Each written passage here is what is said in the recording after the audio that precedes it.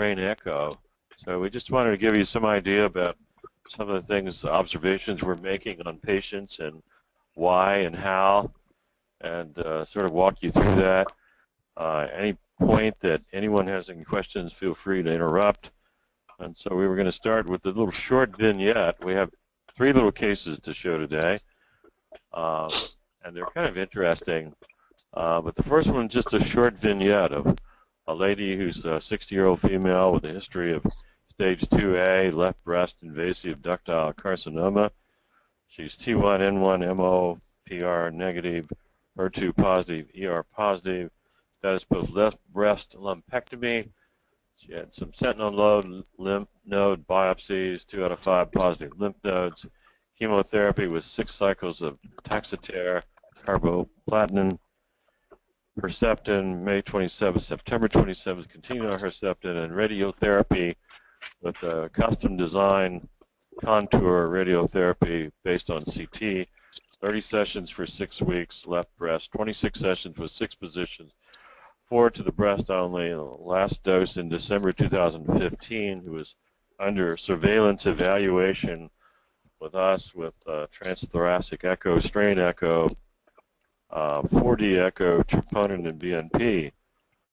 And so basically uh, this was the computer contourized CT application with uh, these ISO lines to uh, determine the uh, location and amount of radiation uh, going from a central point of the tumor, breast, lymph node structures.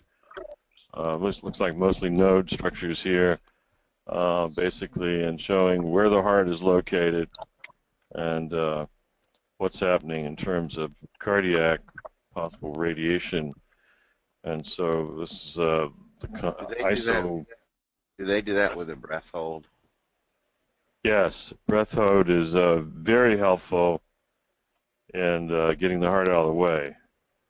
And so hopefully the therapy is also done with a long with long breath holds as the patient can respond.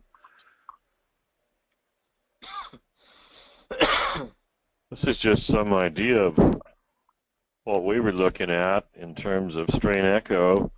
Strain echo is basically has been standardized somewhat uh, by General Electric, which apparently has had the longest experience in terms of research, uh, and basically our tech went to, our tech went to somebody's. Uh, please mute, mute yourself if uh, you have background noise. Otherwise, we'll have to establish who it is and mute them. Janice. so- Janice. So we got somebody laughing, and we'll have to figure out how to mute it. Uh, so moving on here, uh, the uh, strain echo has been standardized. Uh, Dr. The group, group at MD Anderson has had some uh, quite a bit of experience, and then Cleveland Clinic, and then Dr. Marwick, who moved from Cleveland Clinic to Tasmania, and uh, our tech went and trained with Dr. Banchs, uh, Jose Banchs, who's at MD Anderson now. And uh, then uh, we had some training from Dr. Marwick, and so trying to perfect our technique, trying to make sure that we avoid uh, papillary muscle, we have a standardization in our technique, uh, we have adequate images to be able to come up with uh, strain echo averaging on global longitudinal strain, which is seems to be uh, the most accurate uh, in echocardiography. And so you can see we were monitoring these patients, uh, this patient with troponin, BNP, ejection fraction over this period of time of chemotherapy, which ceased in September and then picked up for the radiotherapy, and then the radiotherapy ceased uh, and in uh, late December. And so these uh, are the images that we have. So we can say that you know, we're pretty good at what we're doing. Not many people are good at strain, and so we've had a lot of practice. We're doing strain now in every echo we do just for practice, and so that's a lot of patience. And so, so I think uh, what we've done here uh, is representative uh, because uh, the patient uh, had good echocardiograms that you can see the reproducibility of the ejection fraction uh, is a good uh, standard to show you uh, exactly uh, how accurate we are in what we're doing.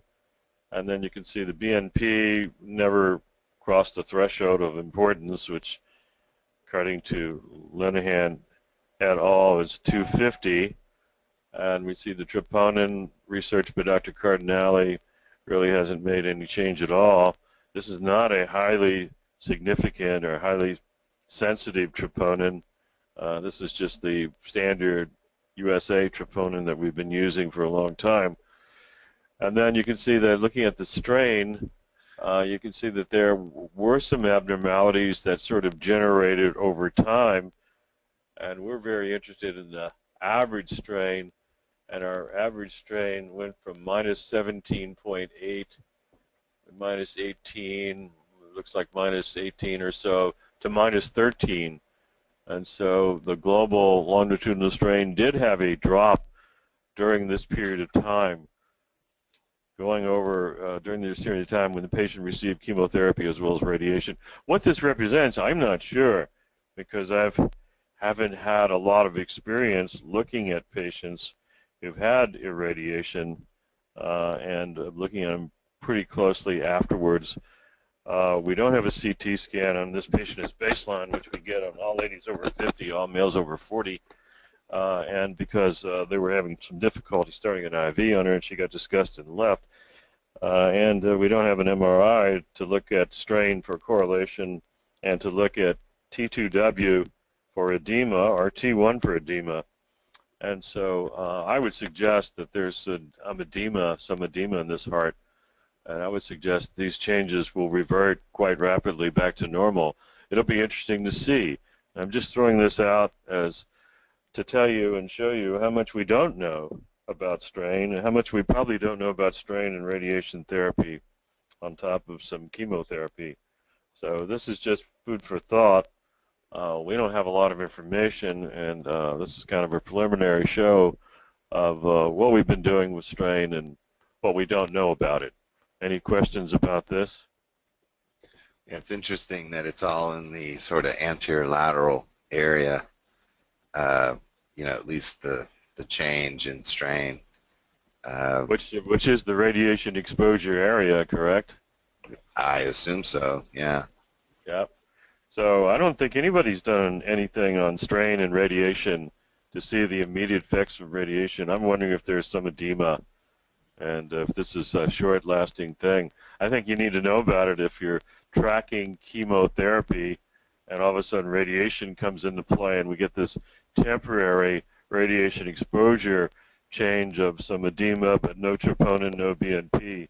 So it's Yeah. interesting. We, we, we'll It have to find out more. Sorry I don't have more information to tell you. Sorry we don't have Dr. Marwick here, who's probably the master of strain, but uh, we'll certainly talk to him about this next time I see him. So let's move on to uh, the meat of meaty cases. This is just a lightweight, you know, sort of provocative um, discussion. And so let's talk about coronary CTA, post-chest radiation, cancer patients, uh, and see what you all think about this. And basically, case one is a very nice gentleman who we've become great friends over the years. He's 67 years old and is involved in several charities here in town. And he uh, was seen here first in September, and uh, he before that he'd experienced after a very heavy meal at lunchtime, including wine, a lot of fatty foods. He wasn't hungry for dinner, and woke up at like two in the morning with a lot of eructation, and went to the emergency room at Tampa General, and had the usual workup, uh, basically, which is uh, usually you have a troponin, you get echo, uh, chest X-ray, and uh, SPECT scan, and uh, frequently SPECT and cath. This time just SPECT, and SPECT was normal with uh, chemo, uh, pharmac- pharmaceutical type uh, stress. I think it was Lexiscan, And so they said, hey, you've had a bad episode of GERD. See ya. Have a good day. Follow up with the cardiologist. I, I guess I, I would think they say cardio follow up with the gastroenterologist, but they said follow up with the cardiologist. I'm glad they said that because um, he came over to see me and basically we looked at his history it's very complicated. Uh, he has uh, hypertension, non-Hodgkin's lymphoma years ago, got radiation for that, had some radiation to the spine area as well, uh, lumbar spine lymphoma, as you see here, and uh, he also had developed into later segued into chronic lymphocytic leukemia, followed at the NIH where he has some connections and a family history of some coronary disease, uh, non-smoker, and uh, doesn't exercise. His weight's like 209, and uh, takes all this stuff, as well as adriamycin exposure. Um, when he had lymphoma maybe 12, 13 years ago. And physical exam was fine. And uh, here's his EKG. Dan, if you'd like to remark on his EKG, appreciate it. Uh, has a left axis deviation, a uh, little bit of poor R wave progression. Um, those would be the main findings. Sinus rhythm, no no clear infarction. Yeah, and unfortunately we don't we don't display the numbers on this, and I think the QRS is a little bit wide. I'm not sure, maybe a little incomplete, you know, IVCD or something. I don't know. It's a little bit wide. So we don't have the numbers on here. And so next uh, we'll talk about it. his echocardiogram looked fine. Of course, he had it at Tampa General. He had some moderate regurgitation, and so hey, here's a guy I got a lot of radiation. He does have a bicuspid aortic valve. I can't tell you if the moderate regurgitation is from the bicuspid. Probably is. Maybe the radiation contributed. Who knows? Some mild MR and TR. RV systolic pressure 37. No LVH from his long-standing hypertension. Normal carotid hemodynamics, but some non-calcified carotid plaques. We always look at that. Uh, sometimes there's correlation with the coronary, sometimes not, but we always take a look at it. Seeing a lot of ladies in their early 40s with some carotid non-calcified plaque seem to be um, very common nowadays, maybe 30% or so. And then uh, CTA, we're going to show you our CTA. The overread of the CTA is some, some lymph nodes. That's all being followed to NIH and uh, some possible bronchiectasis right medial lung base. And so let me uh, get up our CT. You may see some names. We, we're holding you responsible by HIPAA to uh, not uh, reveal uh, identification. We do anonymization usually, and uh, sometimes that fails on this program. So if you see names, just uh, blot them out.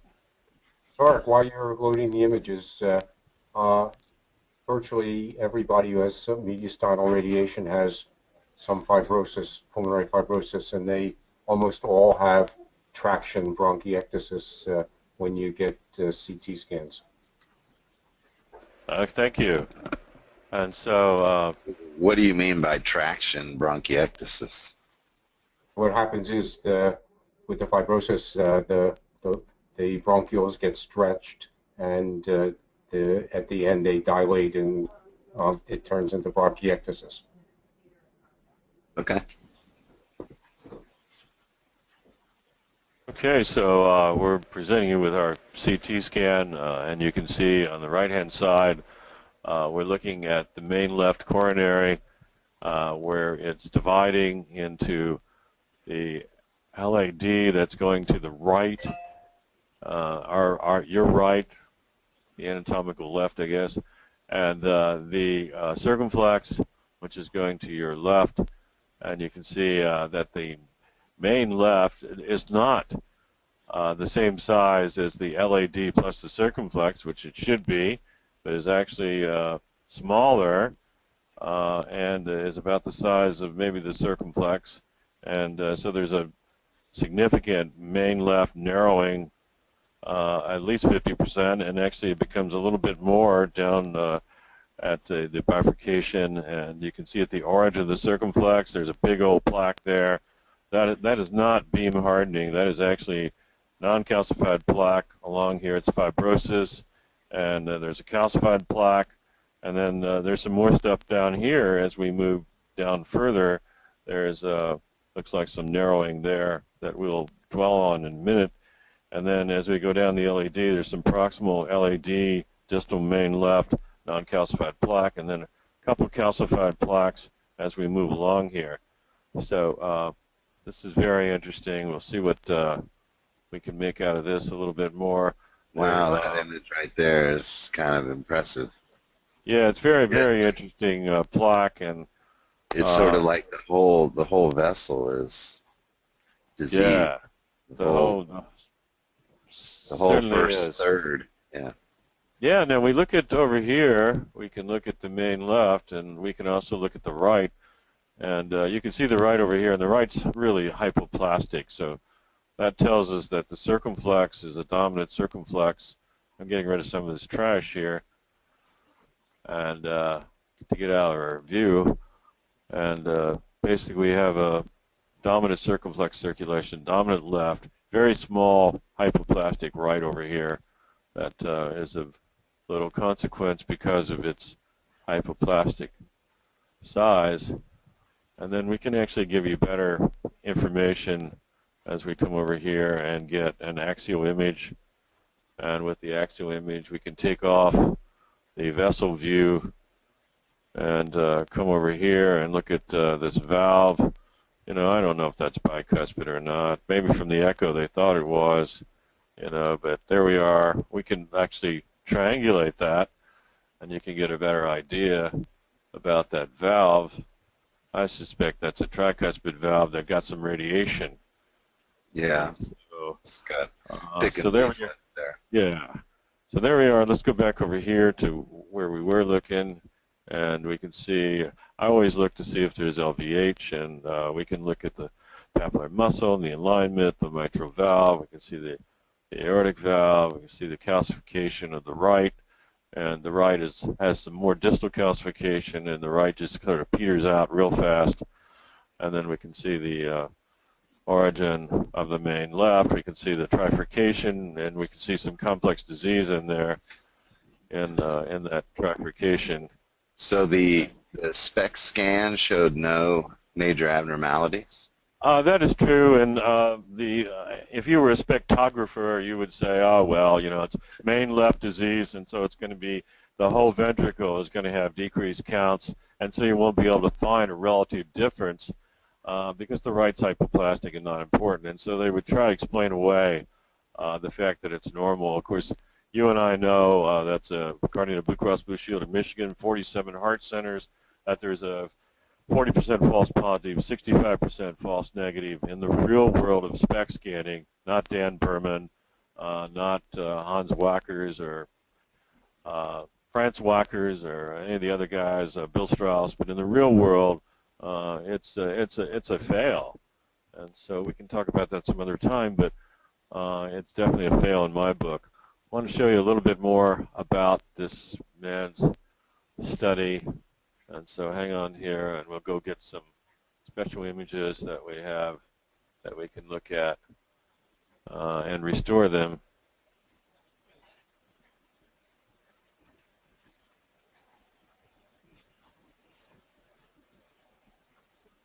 Takes a second for the restoration. And so I uh, so here's the main left and you can see the disease and here's the this uh, very interesting plaque uh, right near the bifurcation. And then we get down here and this is the plaque of interest for me. And so is the is the circumflex basically subtotally occluded or? No it's not really subtotal occluded. We can give you numbers on this. That's not really subtotal occluded there. And uh, the plaque of interest the main plaque of interest for me is uh, this one here, which is actually in the uh, circumflex more distal to the bifurcation. And uh, that one is where we're looking over here and you can see what we've been calling the, for the students, medical students, the fried green egg with ketchup. And so what we see is the lumen, uh, which is the green, uh, marking contrast, increased density and then we see that there's remodeling that's positive by the expansion of this area uh, uh, inside the little brown line, And then you see the red, and the red stuff is really necrotic core. That's uh, less than 50 milli, uh, 50 uh, Hounsfield units, and uh, and you see that the it's it's not very close to the lumen, except down here it's getting closer to the lumen. Well, we can't tell you about uh, thin fibrous cap because that's talking about 65 to 85 uh, micrometers, and so we can't measure anything like that. You can't even measure that with IVUS. And so uh, basically, I was concerned about this plaque because of the characteristics that it has. And so we can look at some of those characteristics and see what the uh, cross-sectional area is of necrotic core. And we've got like 28% there at the uh, plaque uh, where it's at its narrowest uh, lumen. And then we come over here and the whole plaque, if we call this the start of the plaque and at the end of the plaque, the whole plaque has 27.6% volume necrotic core. And so uh, for me, that's a worrisome plaque. And so I'm always looking for plaques of interest. Now, we don't want to miss the forest for an individual tree. And so the forest is, yes, this guy has significant main left disease, proximate circumflex disease, proximal LAD disease, hypoplastic uh, right, and uh, and then this plaque that I call a plaque of interest. And so we did move on in our discussions with this gentleman. Then we see that in this area it's 46% diameter, 74% uh, cross-sectional area stenosis. Let me go on to uh, more imaging uh, and back to our slide deck. So hang on.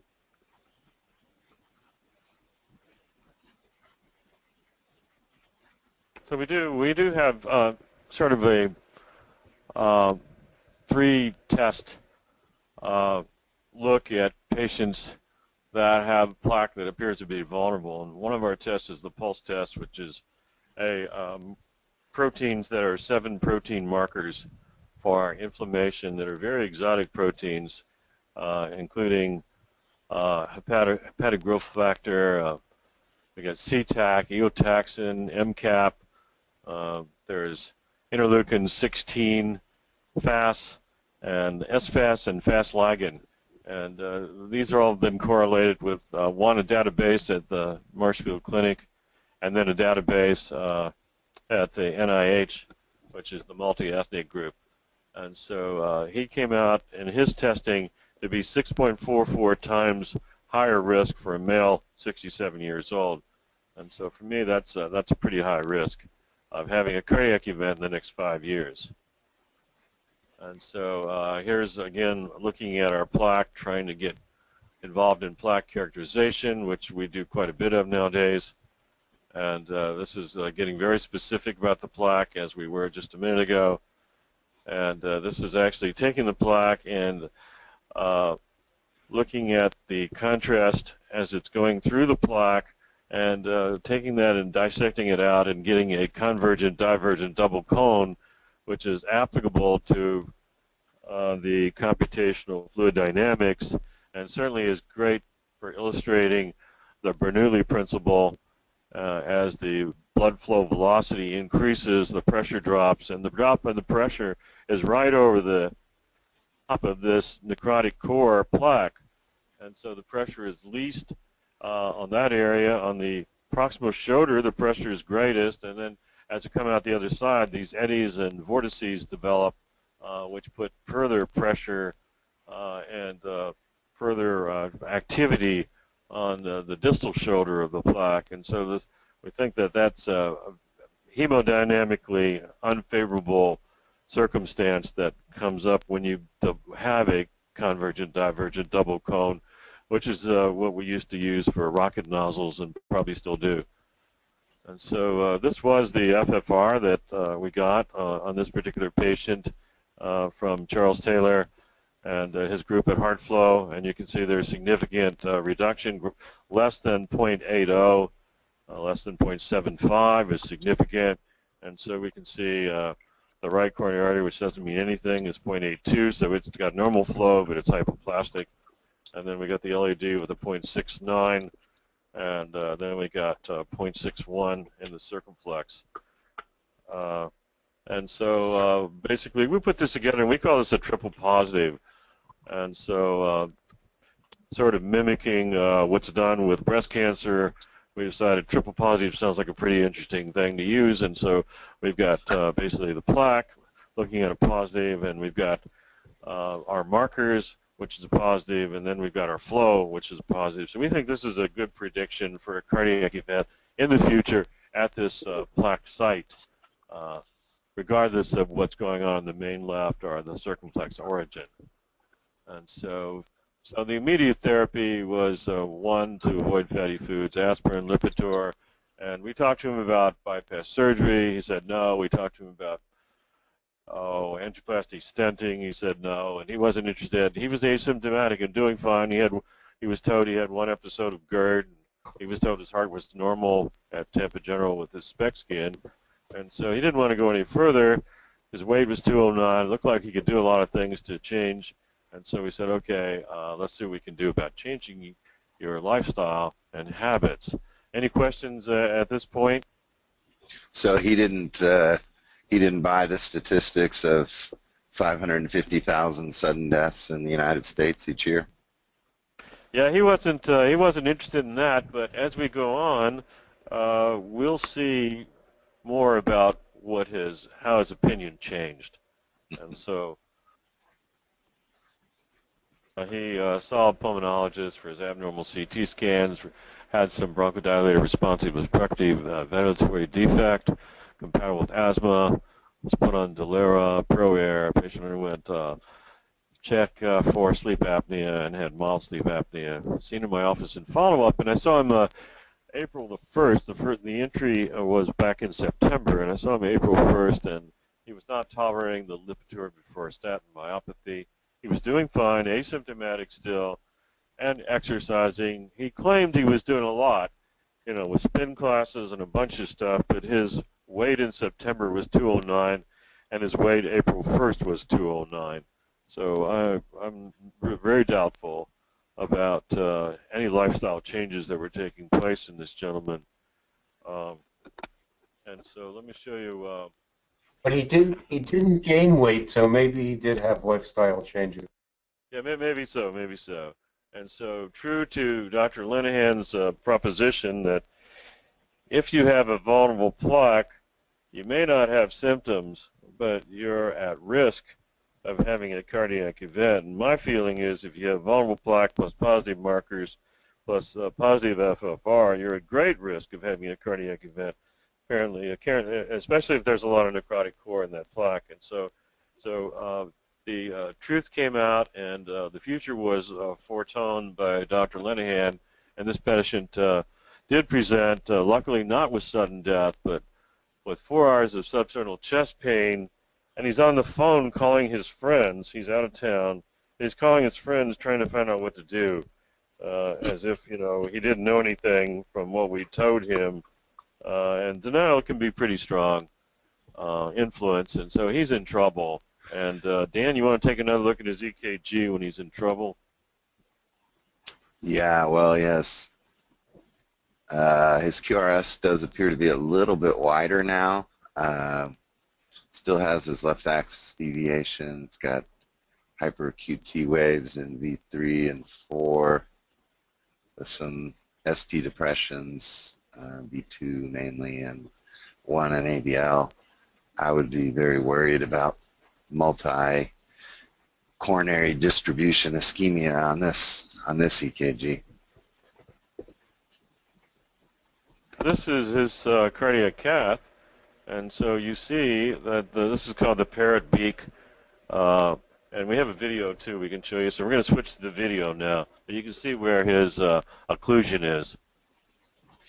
Well, you know, I mean, the coronary CT that you that you showed was really quite impressive, and the fact that he had such complex circumflex disease, you know, you know, suggests that maybe this would be electrically silent. Uh, you know, at least when he presents with an acute acute problem.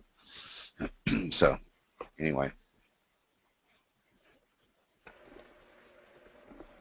Let's uh, let's roll through this and see what's going on with this guy. Why in the world did they put a wire down the right? I have no earthly idea. There was some collateralization from the right to perforators, and that was about it. And so here here's the culprit lesion, which is being penetrated with a wire. And uh, now opening up the circumflex. The guy's in big trouble. He's on an epinephrine drip. There's the main left lesion. There's uh, the proximal circumflex lesion. But it's interesting that uh, the occlusion is exactly at the vulnerable plaque site uh, that we had demonstrated, not at the other areas. And so uh, we're getting the circ open, and uh, he's on a balloon pump, and uh, he's in he's in big trouble and uh, almost sudden death is his presentation. And now uh, we're open. We've got a pacer wire into.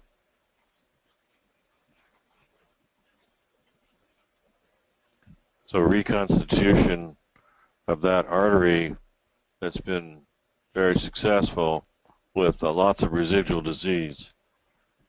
Hang on and we'll change back.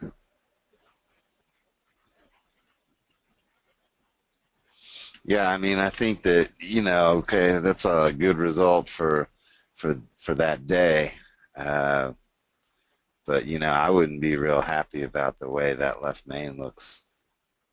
So exactly, and so we put a band-aid on uh, on a lesion here, and uh, he's got severe problems. So he comes back, lucky to be alive, uh, gets into a cardiac rehab program, and uh, this was the findings, of course, that we discussed before with a hypoplastic uh, right, and uh, catheterization, bradycardia, epinephrine, aspiration, thrombectomy, PEA, ventricular fibrillation, cardioverted, all the stuff that took place, intra-aortic balloon pump, and ICU, and 35% ejection fraction, all kinds of stuff going on in this guy. It was horrible. And finally goes home, defibrillator vest, vest comes back to Tampa, no symptoms, ejection fraction 57%. And oh my goodness, what a lucky guy this is. Hey, he should go to the racetrack. So follow up, we got an MRI on him we'd like to show you. So it looks pretty good. His mitral valve looks pretty competent. There's his bicut, there's his bicut, his uh, tricuspid aortic valve. You can see a little bit of aortic regurgitation. His ventricle looks pretty good, surprisingly, uh, after all he's been through.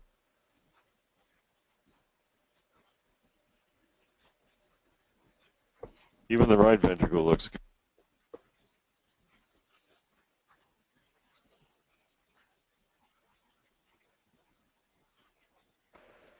There you can see his aortic regurgitation a little better.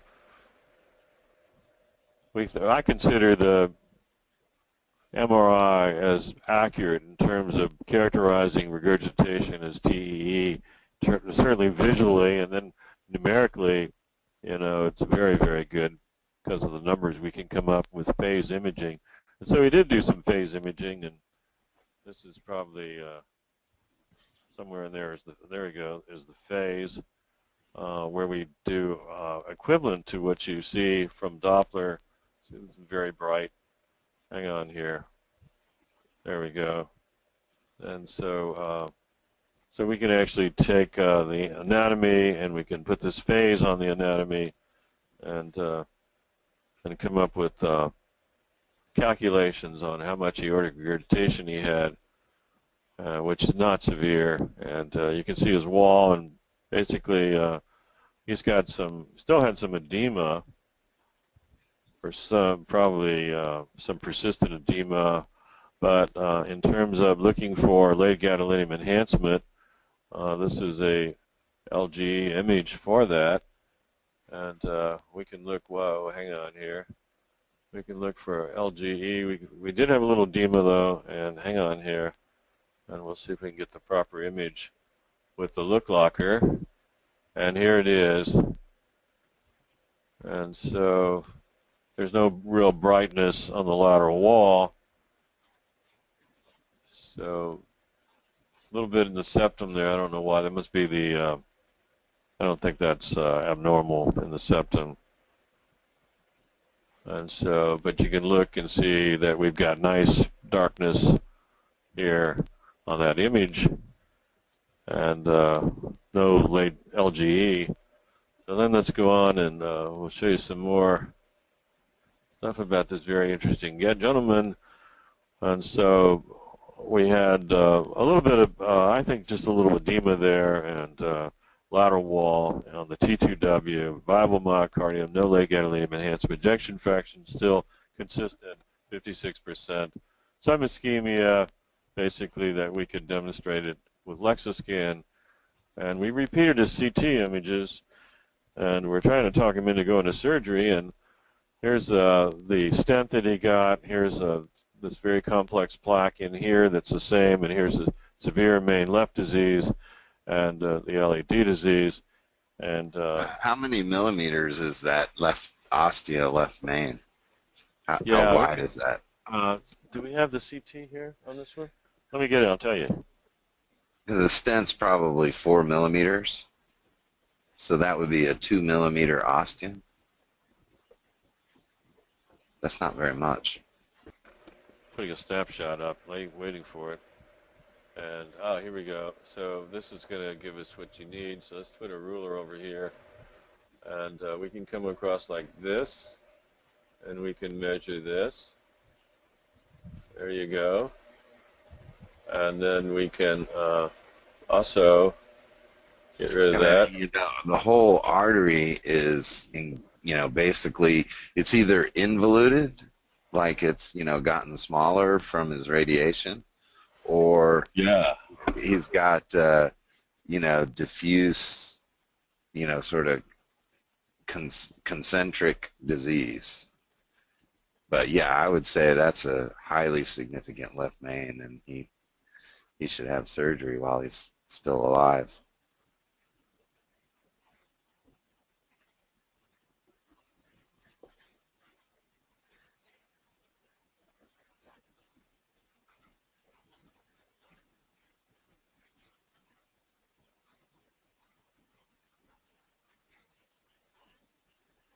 I mean, that right there, the ostium is tiny.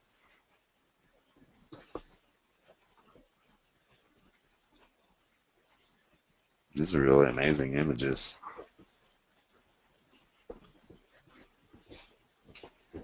Let's go on and show you some more here.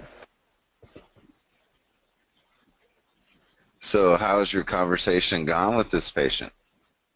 He is now in cardiac rehab and uh, for the first time gets a symptom, thank goodness. He is having jaw pain during exercise in rehab, had his first episode, and I said, come down to the office. So he came down to the office. We went through this very carefully. We got Henry Liberman on the phone from uh, Emory. We discussed that with Henry, and uh, we said, Mr. Uh, H was going to go catch a plane today to Emory and would be in your clinic today for consideration of surgery. So let's talk about what are we going to consider in this guy. Uh, Dan, you got some ideas about what we're going to do? Uh, well, I would have probably liked to have seen his IMA graph or his, his takeoff of his internal mammary, but I would have sent him, or I would send him for uh, Lima and uh, maybe an SVG.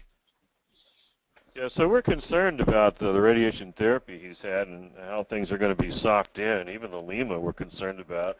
Certainly concerned about the right ventricle adhering to the sternum and all the complications you get from large mantle radiation exposure in somebody with mediastinal exposure. And also he had this exposure to the back because of the spinal lymphoma. And so uh, we're proposing uh, and we picked out Henry Liberman because of his articles about hybrid surgery. So we're we're we're thinking that busting in there is not going to go well, and we're thinking if we could get somebody to hook something up, you know, to uh, the left-hand anterior descending from the Lima, if it's good. And so we don't want to hook up here. Actually, what we want to do is we want to harvest this robotically, uh, and we want to hook it up distally and then we want to stage this and then go back in and put stents in the main left, uh, circumflex, and LAD. And so that's basically our proposal was to do this procedure, and that's exactly what we did do.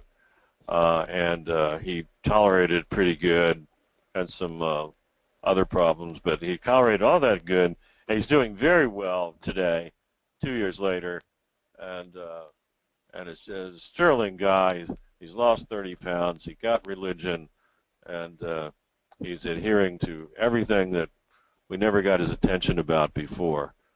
And so that's uh, we have another quick case to follow up, and then we can have some discussion about the radiation and about the application of cardiac CT, and so uh, and uh, basically advanced cardiac imaging. So here's a 54-year-old lady who's a nursing assistant who uh, was first seen back in November 2013, had a right bundle branch block in her EKG. That's why she was sent over here.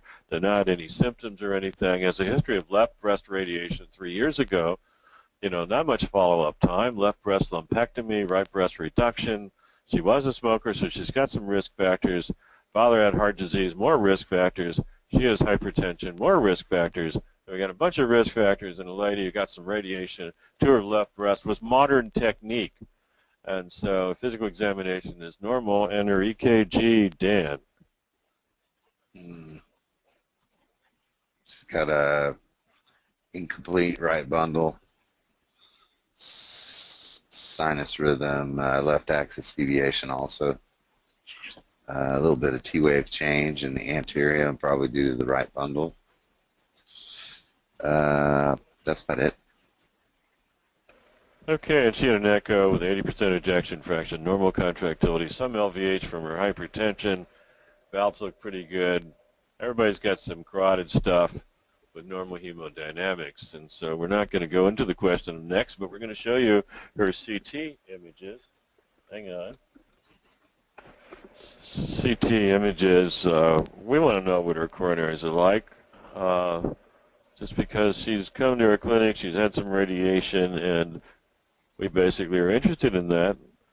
And ladies over 50 uh, and uh, gentlemen over 40, and so basically looking at her CT, uh, looking at the left anterior descending, which uh, isn't very big vessel, she's got uh, area of calcification that uh, in the left anterior descending uh, right before it bifurcates into this big diagonal vessel.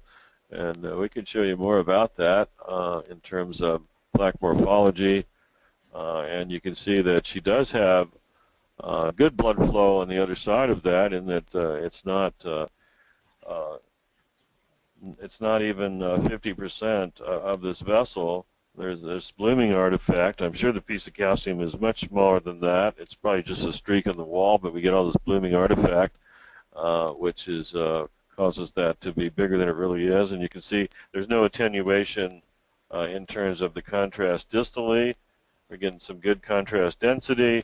So I suspect that uh, this is just a incidental finding and doesn't have any significance.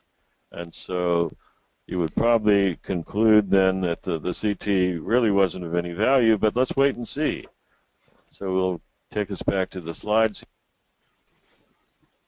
had an episode of chest pain of some sort back in November when lying down, lasted a few minutes. It was kind of atypical for her. Maybe it was GERD, who knows. And she comes in for a routine follow-up, uh, and uh, she's been, she ran out of her medications for two or three weeks, and here she is with asymptomatic. And uh, physical exam doesn't really show anything. And uh, back to her EKG, Dan.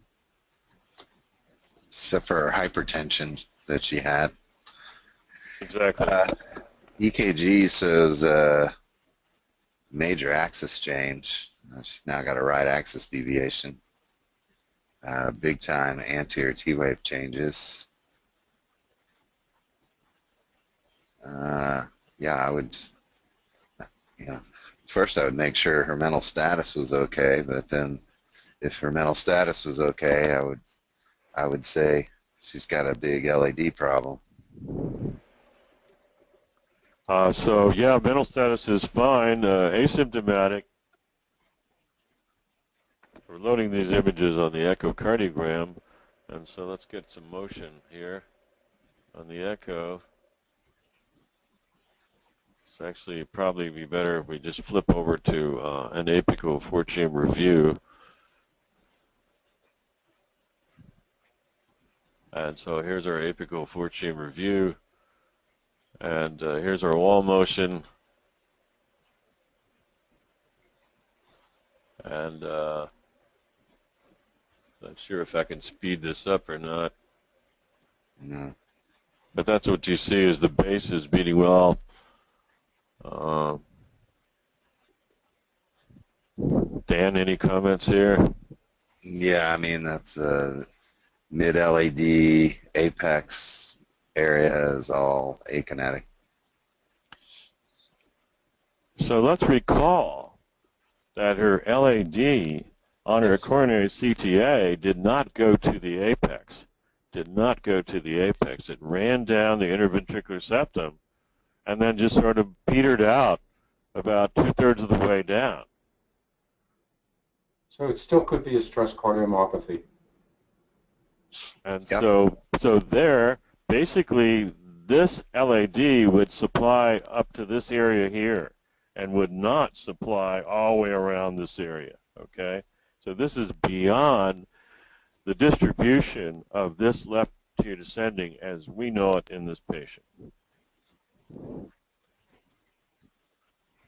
So basically, exactly right. We're dealing with the Takotsubo that's asymptomatic. We just discovered this on this patient's follow-up visit.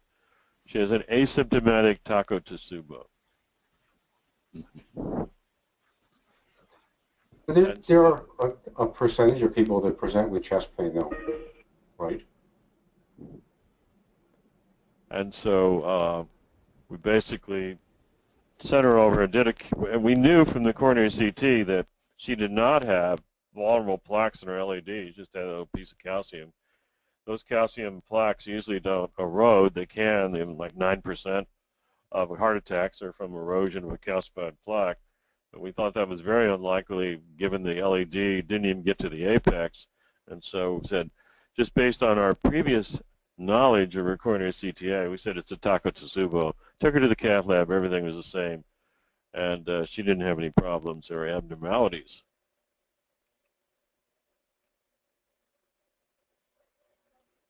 And uh, coronary CTA, we're, MRI, we're getting towards the end here. Coronary MRI revealed no evidence of late gadolinium enhancement. And so she had no scar, as we believe it's supposed to be. She's on an ACE and beta blocker and a diuretic, and doing fine. And her echo seven days later returned to normal. And So did she have did she have vasospasm? she, well, we think she had Takotsubo because vasospasm wouldn't produce that either because you'd have to have several arteries going into arterial spasm. And, you could uh, have focal spasm. Well, she had focal spasm in the LAD. That wouldn't produce that lesion because she that wouldn't. It only goes down to about two thirds of the interventricular sulcus and never gets to the apex, and so it's beyond the reach of a single vessel spasm. Mm, I would still put that as a possibility. Uh, so you could do, actually, there have been studies uh, this guy has been doing at the time of Takotsubo discovery, is doing ACTH injection, acetylcholine, and uh, trying to induce vasospasm uh, on several vessels or one vessel at the time of discovery of Takotsubo and has some data on that. And so that's, uh, that there is a proposition about that.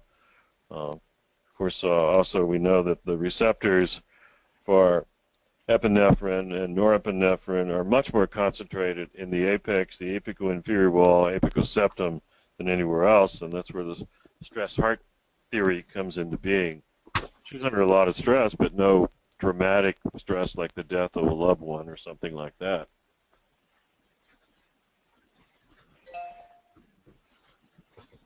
So we all know the relationship, uh, as shown by Darby, uh, basically in the New England Journal of Medicine article a couple years ago, showing mean radiation dose and percent increase in rate of major coronary events. And we know that relationship exists. We also know studies in Hodgkin's and long-term risk of cardiac disease is increased. We know that bypass surgery has to be done or angioplasty frequently in these patients, and we're all looking for main left LAD lesions when they show up uh, to see us. And we do have uh, some recommendations that have been outlined uh, for looking at different things that happen in terms of interested in the radiation to the neck because of dysautonomia. We have some people that can't even stand up because of that uh, occurring uh, 10 years later. We have looking for risk factors, you know, trying to assess patients more. And Takotsubo also has a relationship to cancer patients, and we're not sure uh, what that relationship really could be, but there are proposals about stress from initial diagnosis, complications of surgery, chemotherapy, and radiation therapy, all of which are not well outlined. We also know there are several drugs that have been shown coincidental with Takotsubo syndrome, and uh, the, the, relationship not having been heavily explored. And uh, basically, this lady, uh, uh um, in the literature, uh, basically a 66-year-old lady with breast cancer, right mastectomy, radiotherapy, chest pain, normal cardiac enzymes, and Takotsubo. So we find uh, we find that occurs. We also know that uh, here's the Darby about it uh, nowadays radiation for the breast uh, being a very weak risk factor because of, of actually getting down to one and a half to one percent absolute risk, uh, and that being compared to smoking, hypertension, diabetes, and a confluence of risk factors being a very minor uh, risk factors then because of that. And so basically conclusions are radiation therapy of the breast has been associated with increase in coronary events, especially uh, in postmodern days. The risk is decreased to less than 1% in modern trials. Location, location, location, and the mid-LAD and diagonal are the ones that are exposed mostly to the radiation. And current techniques of radiation planning have minimized whole heart and coronary dosing with CT-based 3D planning, which you saw, prone position, deep inspiration, breath hold, and proton therapy because of Bragg's point being much more specific uh, to the targeted area without radiation beyond that. And so uh, that's sort of uh, where we are, and those are our references. If anybody has any discussion, we would love to hear from them. Again, uh, some information being with advanced cardiac imaging, people with oncology clinics are more prone to uh, use the techniques that we have. So we're very interested in coronary CT on any patients that ladies over 50, men over 40 who are coming into our cardiology clinic because of, for cardio oncology, we want to know what the baseline is. We want to know what we're starting in and where we're going. And so that's why we're doing that. And then the following patients uh, who are appropriate with uh, 3D imaging for ejection fraction and uh, with strain imaging, either MRI or echo, is very interesting, and uh, I'm not sure what uh, how that's going to play out. But the SUCCOUR study is being conducted by Dr. Marwick, multi-center. We dropped out. We were part of it. We couldn't continue because our patients uh, really uh, are more of a concierge type uh, group of patients who didn't want to be enrolled in the study, unfortunately, and uh, they wanted uh, to get uh, some strain echoes, and uh, so they weren't willing to be in a placebo group uh, in terms of not looking at the strain echo information. So, any comments uh, from the group? No, those were those were really interesting images, especially the the second patient. I really think, you know, that was uh, the CT clearly uh, was was the money image on in his story, and you know he's lucky to be alive. That's all I'll say. Yeah, and it's also the money image in the third patient because because of that CT, we knew that there was not an LAD that hooked the apex, and so we said Takotsubo. Yeah, I think you know that case is still uh, I would say still uncertain. We had a patient just a few weeks ago that uh, presented with, you know, an EKG not dissimilar for, to that and was acutely ill, and uh, cath was basically normal. She had very minimal troponin elevation, and she actually had sudden death at the time of her original presentation and she reported an episode of pretty typical chest pain like a year ago. She did not have any evaluation for it. She sort of wrote it out at home. And then this time when she had her episode of sudden death, it was preceded by pretty typical chest pain. And I think that the only thing that made sense in the whole picture was vasospasm, and so so I think that uh, I would still put that out there as a possibility. So certainly we've seen a lot of Prinzmetal angina in the past. Usually it's smokers, saw it frequently in women, and uh, we had sudden death patients uh, that we actually brought in and studied with sudden death. We were doing a, a funded research study of sudden death with Tampa Fire Rescue, and so we did have uh, people who had recognized vasospasm, positive ergonovine test, who um, had uh, sudden death uh, and had the same kind of syndrome that you're talking about. And it's very common. Uh, and uh, I guess now you would explore that with acetylcholine uh, testing in the cath lab. Uh, yeah, I don't know if I would ever do that. I I did it when I was a fellow and got scared out of my life. You know, just watching the vasospasm occur right in front of me. So I'm not uh, not one to do that type of provo provocative testing, but I think the if you don't have uh, an adequate explanation, then I would look for causes of vasospasm. So in some people, that would be you know alcohol use, uh, some some drugs that promote vasospasm. Uh, of course, cocaine being one of them, but uh, you know, so there's all that, and then you know it would alter your therapy choice. So in the usual patient that presents with an acute coronary syndrome and and has heart failure, you're going to use, you know, ACE and beta blocker. But in the case of somebody that you thought it was vasospasm, you might use something different, either nitrates or. Now we have had patients with coronary emboli who basically, we've had, the, of course, the patient with mitral stenosis who gets a coronary embolus to the right coronary and gets uh, and it lyses and uh, we lyse it and they get a, they have basically an inferior wall MI that resolves quickly. And we've had the Takotsubos that come in that basically we don't have an origin. We follow them. We find they have atrial fibrillation episodes with RVR uh, that were unbeknownst to anybody. And uh, then we find that they have a coagulopathy uh, with a high homocysteine level or some other uh, coagulopathy. And we conclude that their Takotsubo was really uh, an embolic episode that lysed, and so that needs to be considered as well. Yeah, well, I think that at least based on your MRI in your case, uh, you didn't see any evidence of true infarction. So, so I think that sort of, and somebody who has a thrombus that goes away, they they usually have a, a mark. They'll have a they'll have an area of infarction. Yeah, and all those observations that I made preceded our MRI era, so I can't tell you. So any other comments from anybody in the group? Yeah, Eric, I think that uh, you are blessed to have images of unbelievably great quality that don't exist in most other places. Yeah, I would say we're not we're not seeing those CTs. I can tell you that.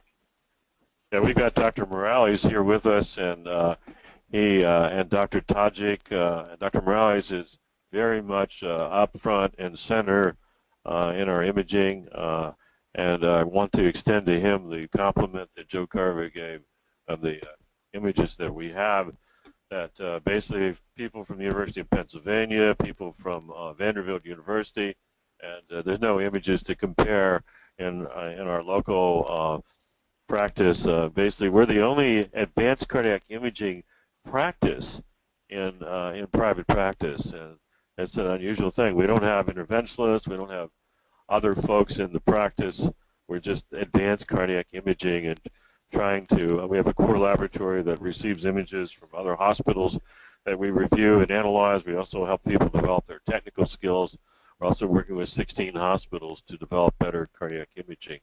Uh, for what we say is that we've been we've been riding a two-wheeled uh, motorcycle, like we hope it's a Ducati, but basically it's had uh, two wheels which have been Echo and uh, Nuke, and now we've got a four-wheel Ferrari which is Echo, Nuke, CT, and MRI. And so we're very proud of our four-wheel Ferrari now. All right. And are these Eric, are these images that you that that you can get done for 150 bucks? the uh, the price of the coronary CT is less than $300 out of pocket, and so uh, we get that done. We also have insurers that have confidence in us. We've had radiation benefit managers from NIA and from Med Solutions come to Tampa and uh, have dinner with me, come to my house, come over here and see our imaging center. And so we have distinguished ourselves as being unique in private practice in acquiring images that uh, cause a decreased amount of spending. The cardiologist touches a patient, it's $7,000 to the system. We have $300 tests that are in test, and that's it. You don't have to go any further. That's saving money for sure. And so the MRI is about five or six hundred dollars, and uh, we have uh, bargains for PET. We have a five hundred dollar bargain for PET for patients uh, for out of pocket, and so basically we've been able to come up with those prices and uh, and and charge patients and maintain a viable uh, practice and a viable imaging center here. Super. That uh, that's really great. So thank All you, right. everybody. We uh, appreciate your attendance. We're looking for volunteers for the next uh, uh, 10 months uh, for cardiac imaging and for our, our cardio oncology uh, conference monthly. And so please get in touch with Janelle to sign up because we want to see what everybody's doing and uh, want to interact with you. So we appreciate that and uh, appreciate uh, you'll be getting memos to sign up we just took this because nobody else uh, was interested in signing up. We'll continue if nobody wants to sign up, but you're going to get hard, tired of hearing from me. Tired of seeing the good images for sure. All right. Thank you so much. Thanks, everybody. Bye-bye. Bye, Dan. Bye. Joe.